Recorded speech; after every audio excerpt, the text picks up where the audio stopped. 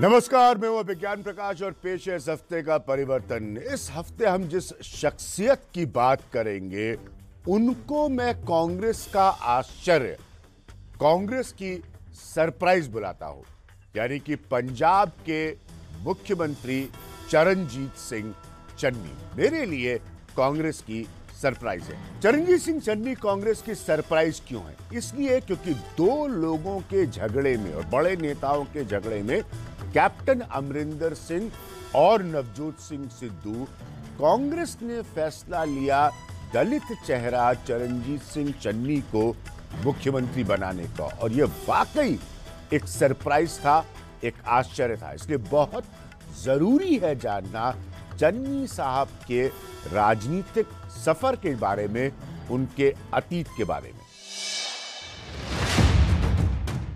पंजाब कांग्रेस के पिछले साल की कहानी बहुत ही दिलचस्प और साथ ही हैरत अंगेज भी है। एक समय कांग्रेस की राजनीति में किसी ने भी नहीं सोचा था कि कैप्टन अमरिंदर सिंह कांग्रेस को जीत दिलाने वाले पुराने नेता एक दिन कांग्रेस से अलग हो जाएँगे। उनकी इनफाइटिंग तो है ही सभी जानते हैं कि चन्नी की लड़ाई इसके साथ है। सिद्धू सिद्धू के साथ और मांझे ब्रिगेड के साथ है, उनकी किसी और के साथ है, लड़ते रहे हमें तो ठीक है। कांग्रेस के अंतरकलह का केंद्र बिंदु है कैप्टन अमरिंदर सिंह और नवजोत सिंह सिद्धू का झगड़ा, जिसने कांग्रेस और उसके विधायकों और मंत्रियों को बुरी तरह से बांट दिया। और हर तरफ़ कैप्टन से लेकर सिद्धू तक बयानों का सिलसिला चालू हो गया। इन सब के बीच किसी का ध्यान एक नाम की तरफ़ गया ही नहीं। वो था अमरिंदर सरकार में मंत्री चरणजीत सिंह चन्नी का चन्नी उन लोगों में से थे जिन्होंने अपने मुख्यमंत्री कैप्टन अमरिंदर सिंह का खुलकर विरोध किया था लेकिन वो खुद मुख्यमंत्री बन जाएंगे ये किसी ने भी नहीं सोचा था ਅੱਜ ਕਾਂਗਰਸ ਪਾਰਟੀ ਨੇ ਇੱਕ ਗਰੀਬ ਨੂੰ ਇੱਥੇ ਤੱਕ ਲਿਆ ਕੇ ਬਿਠਾ ਦਿੱਤਾ ਹੈ ਜਿੱਥੇ ਤੱਕ ਮੇਰੀ ਔਰ ਸਾਡੀ ਔਕਾਤ ਪੈਦਾ ਨਹੀਂ ये नौबत इसलिए आई क्योंकि सिद्धू और अमरिंदर का झगड़ा पंजाब से लेकर दिल्ली तक पहुँच गया। कांग्रेस सार्वजनिक और मीडिया में लड़ाई से बहुत शर्मसार हो रही थी।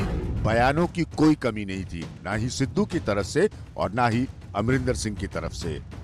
अरे, मेरे कैप्टन राहुल गांधी हैं, उन्होंने तो भेजा है हर जगह। क्या बात कर रहे हो यार? कौन से कैप्टन की बात कर रहे हो यार? है? ओ, कैप्टन अमरिंदर सिंह जी की। वो तो आर्मी के कैप्टन है भाई।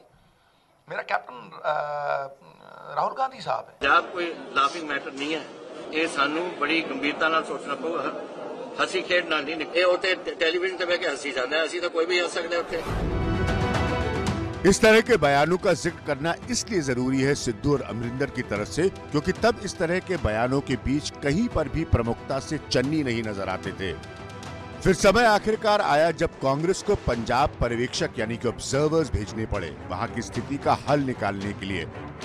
नवजोत सिंह सिद्धू की मुख्यमंत्री बनने की महत्वाकांक्षाएँ किसी से नहीं छुपी थी, इसलिए कांग्रेस का फैसला चन्नी को मुख्यमंत्री बनाने वाला सबको हैरान कर देने वाला था। और ये साफ़ था कि पंजाब में एक बड़े हिस्से की दलित राजनीति को अपने हक में करने का ये फैसला था। चन्नी दलितों के रामदासिया समाज से आते हैं और पहली बार 2007 में निर्दलीय के तौर पर विधानसभा पहुँचे थे, फिर 2012 और 2017 में कांग्रेस के टिकट पर। 2015 में पंजाब की विधानसभा में विपक्ष के नेता भी रहे, फिर 2017 में जब कांग्रेस की सरकार आई तो वो मंत्री बने।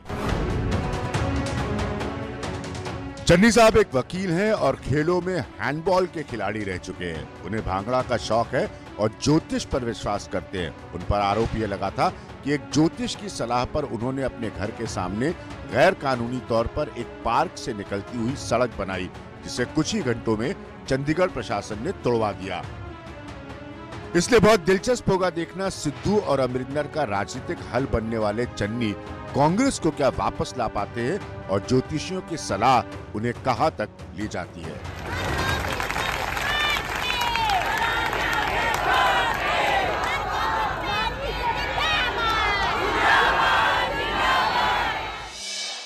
तो सबसे पहले इस बात पर नज़र डालते हैं कि चरणजीत सिंह चन्नी की ताकत क्या है? राजनीतिक ताकत क्या है? दो बड़े नेताओं सिद्धू और अमरिंदर के झगड़े में सामने आया है ये नया चेहरा। दूसरा पॉइंट मेरे हिसाब से कांग्रेस की राजनीति का दलित चेहरा।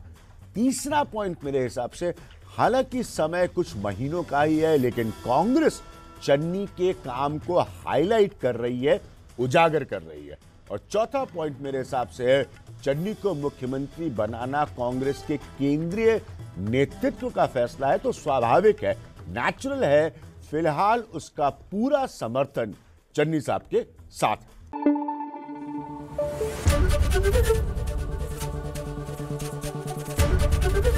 एबीपी न्यूज़ आपको रखे आगे।